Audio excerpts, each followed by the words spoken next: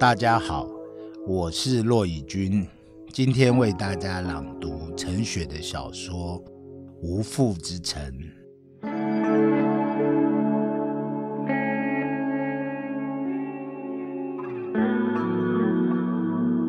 陈少刚辞去工作，搬离住处，他无法再居住于任何有具体形貌的家中。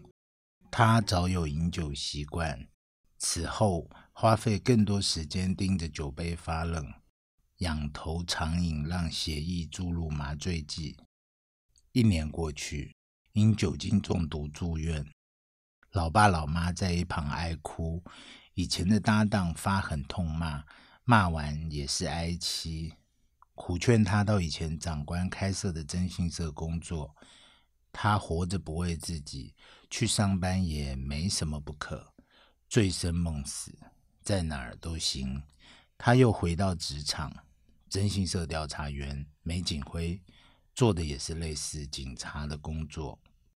每次接案递送可靠征信社的名片，他怀疑自己并不可靠，知道自己还是有随时发作的酒瘾与挥之不去的噩梦。但他是那种一旦开始工作，就像狗咬住骨头不放的人，给他什么他都做。都能做得好，非得查个水落石出不可。奇怪，他内心如此荒败，活得毫无半点滋味，却擅长解除别人的难题。最初做的都是寻人，妻子失踪的那些时光，他找遍了整个台湾，他没寻回他的妻。到了征信社，却协助了各式各样的人们寻获离开的人。某些男人寻妻。某些女人寻夫，几对心碎的父母寻子寻女，某些事主寻找宠物，他做的得心应手，在业界闯出名号。而后从寻人的过程导入一桩他杀案件，此后仿佛又回到警局的工作，他又出没于他杀或自杀命案的现场，收钱办事。他的角色与过去的警察身份不同，遵循不同规则，却朝向同样的方向。他一直在各种找寻与解谜的过程，将他人断裂的人生故事补缀起来，而他自己的人生仍停留在家破人亡的当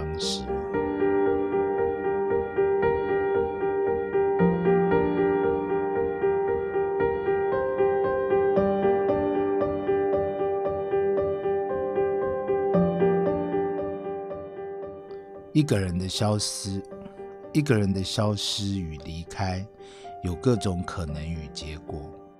他自己实际上也是个不断设法消失与离开的人。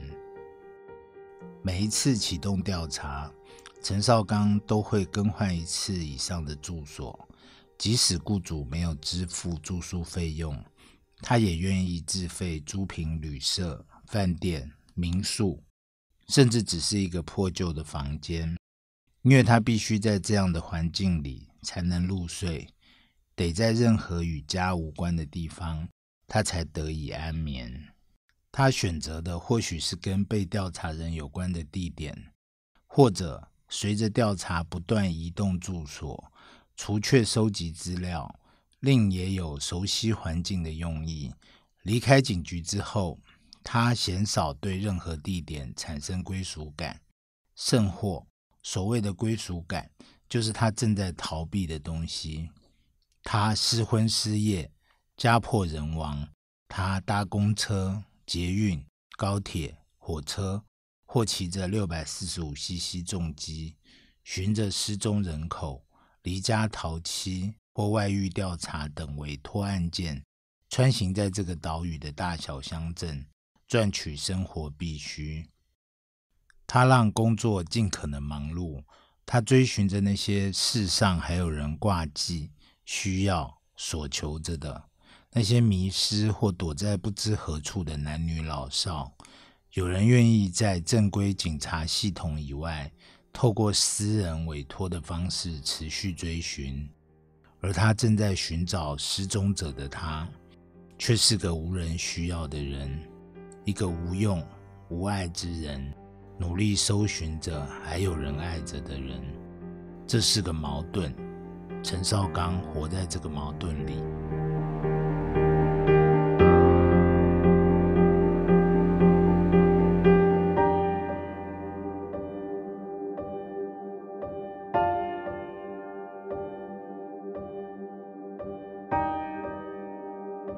被调查人 J 先生于今年二月失踪。四月社区清洗水塔时，发现 J 沉尸塔中。经各方盘查讯问，因为遗书具备且死者无外伤，现场也没有打斗痕迹，警方排除他杀嫌疑，认定为自杀。陈少刚虽然收集这些警方调查进度。但委托人 R 交予他的是彻底找出与 J 生活、工作上所有相关人士进行深度访谈。R 想要他重建出 J 失踪前最后一周的生活关系图表，尤其是 J 的妻子、岳丈、公司合伙人以及 R 小姐始终怀疑的年轻情妇小四 S 小姐。他必须一一访谈名单上的人，这些可能认识 J 先生的人士，才能给予他想要的讯息。他打电话约访，几乎不曾被拒绝，人人仿佛都带着歉疚，似乎都想要对命案说点什么，而最后说的总是自己的人生。真相藏匿在话语之外，并不存在所谓的真相。有些事物隐藏在另一些事物之中。为什么有人愿意对陈少刚袒露心事？陈少刚觉得困惑，也觉得答案再清楚不过。这些他选中的人，与其说被他选中，不如说他们都在等待一个可以开口说话的机会。明明想要躲得远远的，却又忍不住开口诉说。无论是讨论死者生前与他们的交往，或自己的身世，这些都是因为死亡引起的效应。无论是实言或谎言，无论说话动机为何，如今他们都需要倾吐。这些话语埋藏在他们体内，犹如一个会咬噬他们的怪物，唯有一吐为快。夜里。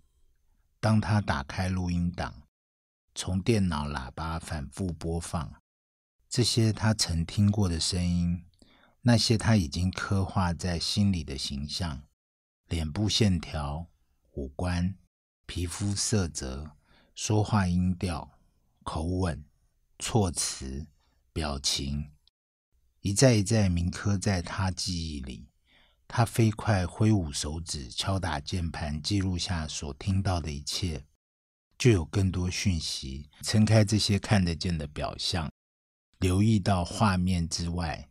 有时他得停下手中动作，聚集心神，让这些说话者停顿。最后一个字句散落在房间里，留下“咦”的尾音。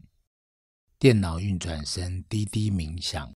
仿佛那些未被说出的话语还散落在主机里，随着散热器的热风飘散在房间里。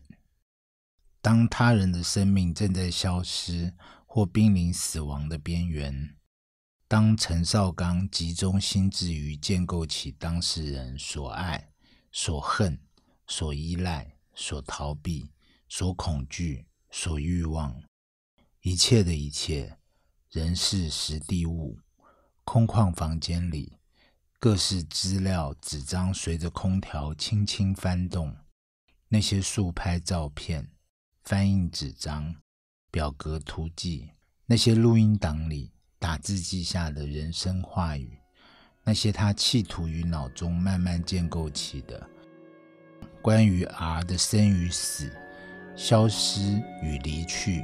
像逐渐升高的塔楼，带送陈绍刚攀向某个极其危险又令他感到安全的所在，像一个漩涡，如一朵随风飘送的云，像一只于沙漠里执着的骆驼。